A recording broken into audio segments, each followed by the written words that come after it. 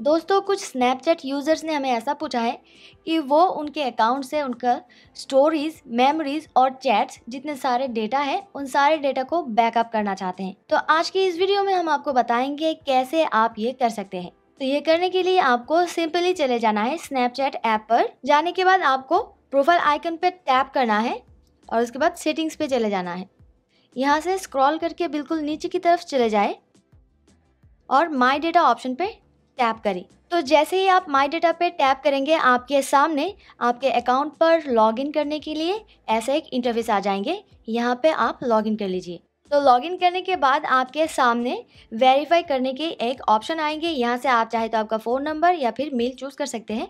हम मेल पे चूज़ करेंगे और कंटिन्यू पे टैप कर देंगे। ये करने के बाद हमारे मेल पे एक कोड आएँगे। उस कोड को हमें यहाँ पे डालना है।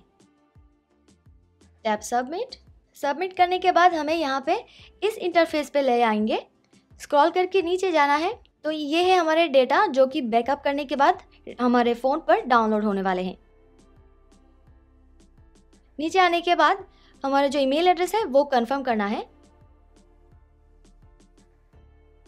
आप टैप करेंगे सबमिट रिक्वेस्ट पर। तो जैसे ही हम सबमिट रिक्वेस्ट पर टैप करेंगे, हमारे जीमेल पे एक फ़ाइल आएँगे जो कि हमारे बैकअप किए हुए डेटा की होंगे। तो वो आने तक हम इंतज़ार करेंगे। तो आपको यहाँ पे थोड़ी देर इंतज़ार करने के बाद मेल आ जाएँगे। उसे ओपन करना है और क्लिक हीयर पे टैप करना है। क्लिक हीयर पे टैप करने के बाद फिर से आपको आपके अकाउंट पे लॉगिन करना है। फिर से आपको यहाँ पे कोड के लिए वेरीफाई करना है। और फिर से जो कोड आए हैं, उसे यहाँ पे डाल दीजिए। आप यहाँ से थोड़ा सा नीचे स्क्रॉल करेंगे तो आपको आपके डेटा फ़ाइल दिख जाएँगे। इस पर टैप करना है। तो ये देखिए, हमारे जो डेटा फ़ाइल है, वो डाउनलोड हो चुके हैं। हम यहाँ से निकल जाएँगे और इसे डाउनलोड लोकेशन से ढूंढेंगे। तो ये रहे हमारे स्नैपचैट के लिए हुए बैकअप इस पर टैप करेंगे और ओपन करेंगे। अब हमें इन तीनों फाइल्स को अनजिप करना है। तो जैसे ही हमने यहाँ पे इसे अनजिप किए हैं, जितने सारे डेटा डाउनलोड हुए थे, वो सारे यहाँ पे हमें दिख जाएँगे। तो आप चाहे तो यहाँ से आपके चैट्स भी देख सकते हैं।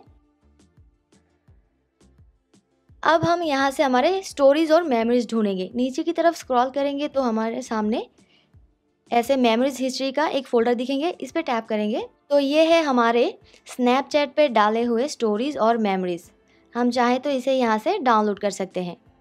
तो आप देख सकते हैं ये वाला फ़ाइल डाउनलोड हो चुके हैं, अब हम इसे ओपन करेंगे। ये देखिए, ये वाला फ़ोटो हमारे स्नैपचैट के स्टोरी पे थी, ये यहाँ पे डाउनलोड हो चुके हैं।